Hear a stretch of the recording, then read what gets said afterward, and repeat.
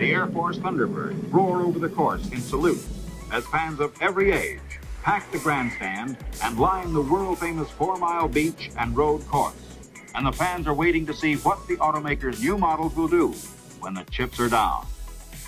Hello, everyone, and welcome into our review of the 1958 Daytona Beach and Road Course Race, the last beach and road course race before NASCAR transitioned over to the big speedway. We're going to welcome in my buddy Ken Martin, NASCAR historian. I'm Jonathan Merryman.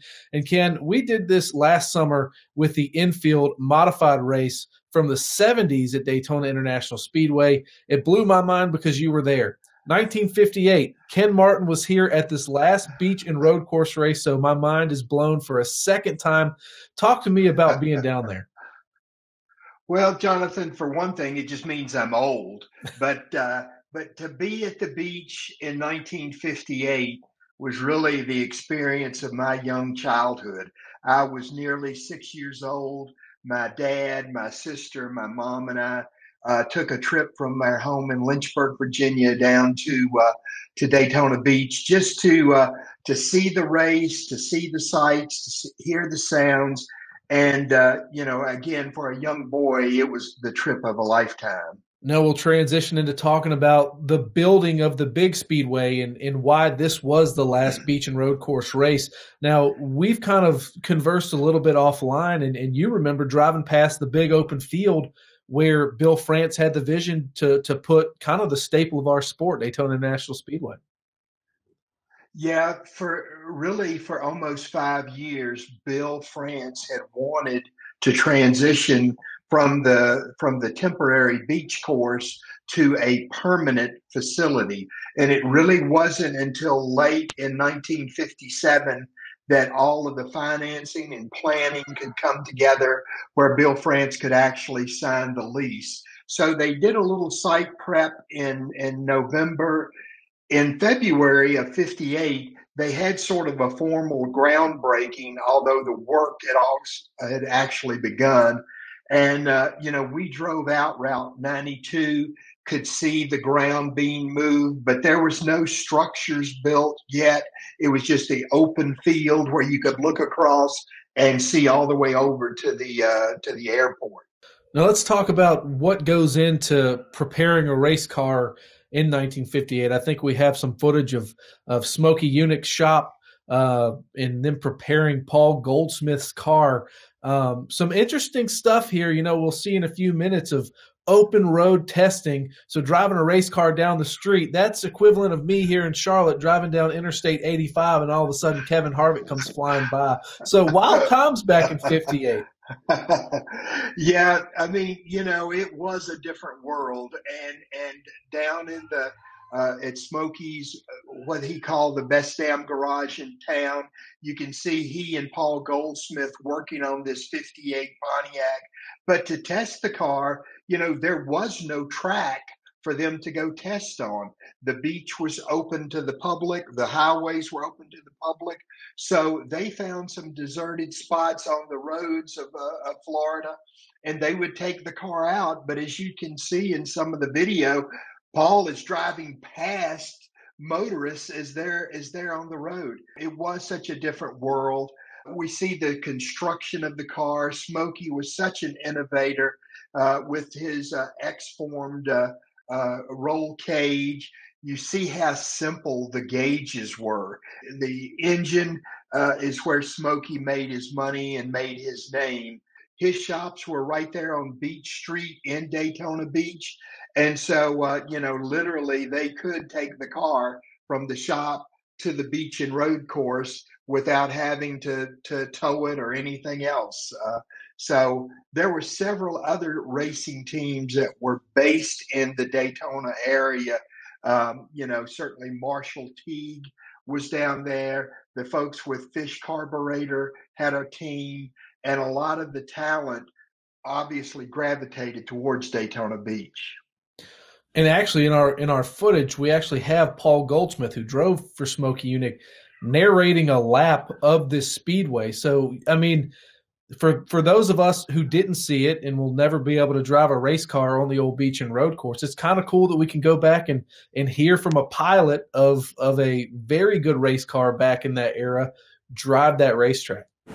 Why you have a tendency to fishtail and spin all the way up the entire beach, clear to the north turn. You get out fairly wide next to the ocean, and you go into a soft sand before you get to the hard shale and the bank turn. And then your car's pitching and bouncing.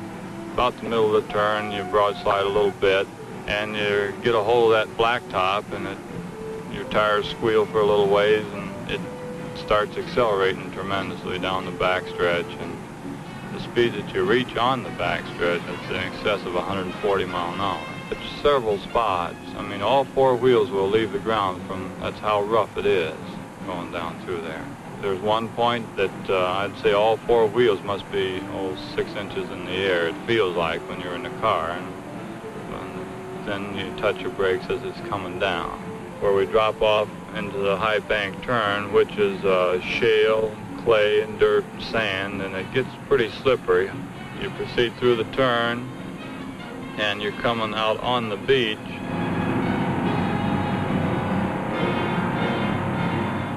You know, it was a mix of surface, it was a mix of, of speed, and uh, and it took really skilled drivers to uh, to win on the beach at Daytona. Let's talk about the three series that, that raced down there. You had convertible series, modified sportsman, and then of course Grand National, which is now what we call the Cup Series. Starting with modified sportsman, uh, six-year-old Ken Martin sitting in the grandstands, and all of a sudden, uh, Glenn Wood qualifies on the pole, I believe, and, and he did a little bit of racing in your neck of the woods uh, when you were a kid. So, what's it like for a six-year-old Ken Martin to see uh, not necessarily a hometown hero, but a familiar face so far away in Florida? Yeah, my dad was the promoter at the Lynchburg Speedway. Some people called it Schrader Field. And so it attracted a lot of local racing talent, but talent from all over, from Virginia and North Carolina. And Glenn Wood was a regular at our track. But to see him down at Daytona on a on a two and a half uh, mile course uh, was spectacular. And the fact that he was the fastest qualifier driving a sportsman car. There were two classes that ran together the sportsman and the modified. The modifieds, they could run turbochargers, they could run blowers. And, and Glenn was in a sportsman car that was only allowed to run a carburetor. So the fact that Glenn was almost at 140 miles an hour and just a carbureted uh, car was was really special. And uh, he ended up finishing third in this race that was won by Banjo Matthews. Banjo was driving the M4 for the fish carburetor folks. And again, they were a Daytona business that, that specialized in speed equipment and high performance carburetors. Uh, Banjo won the last modified sportsman race on the beach. Then he won the first modified sportsman race on, at the Daytona Speedway in 1959 you know, Banjo went on to, to uh, be the owner of Cup Cars that Donnie Allison uh, won won for. But then in the 80s, he was the dominant car builder for what was then the Winston Cup Series. There were some races in the 80s that every car in the field was built by Banjo Matthews Speed Shop down in North Carolina. Let's switch gears and uh, we'll put the top down for this one. We're talking about Florida, of course. You got to have a convertible. We'll talk about the convertible series. So Lee Petty on the pole, a name we're familiar with, and the winner of this thing was Curtis Turner, another name we're fami- we're familiar with. We'll get more familiar in just a few minutes. But um, what was the convertible series like to watch?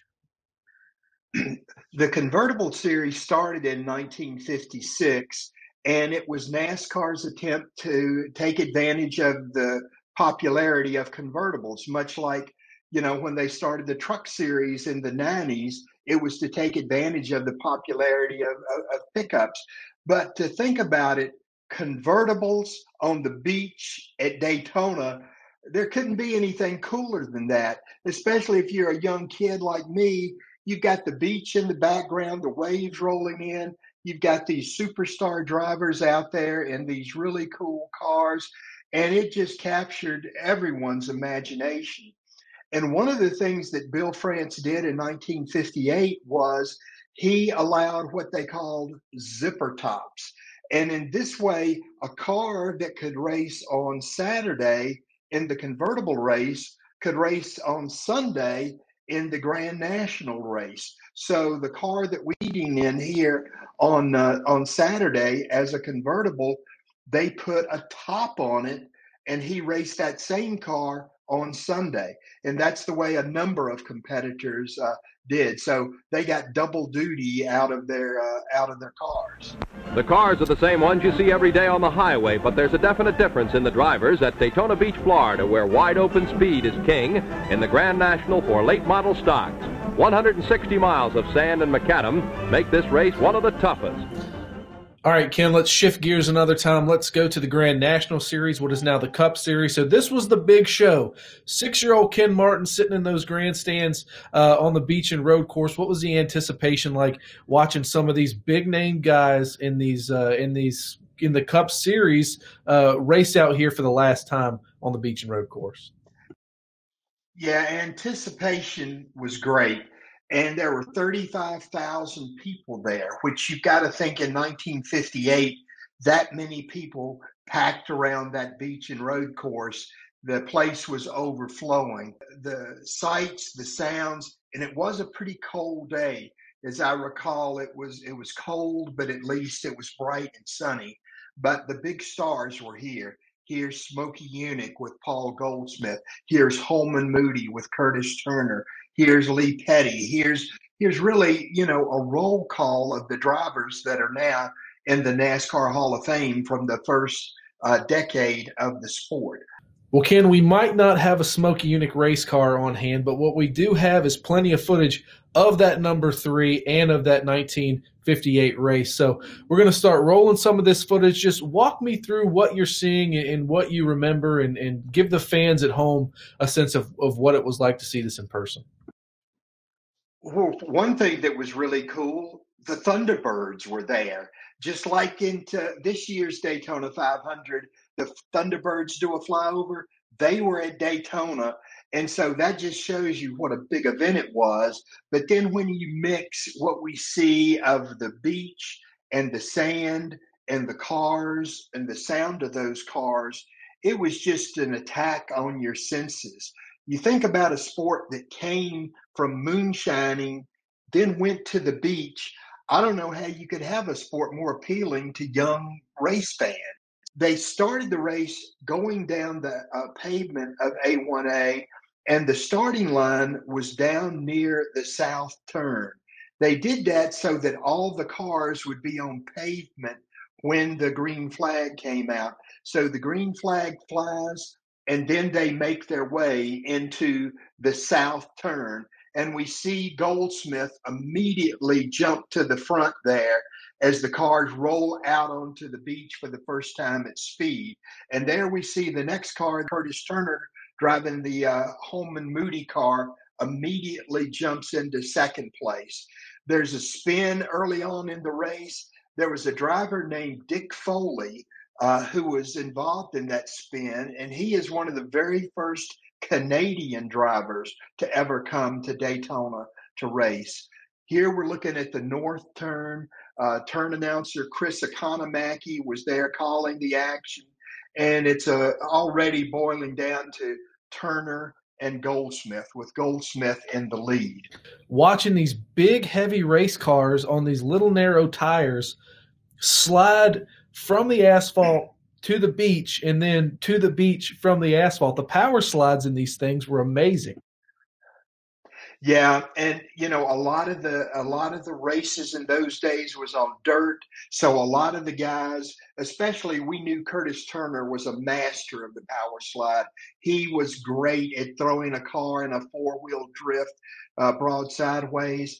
And but as you said, the tires were not specific racing tires. These were tires that you could go to your Firestone and Goodyear store and buy. And so, so when you think about a, a tire that has to adjust to the grip of asphalt and the the slip of sand, it, it really shows how the cars had to be set up. And um, there we saw Smokey out on pit road holding up a pit sign to Goldsmith, letting him know that he had a, pair, a fairly significant uh, uh, significant lead here. There we see Curtis Turner muscling his way, uh, uh, you know, through the corner.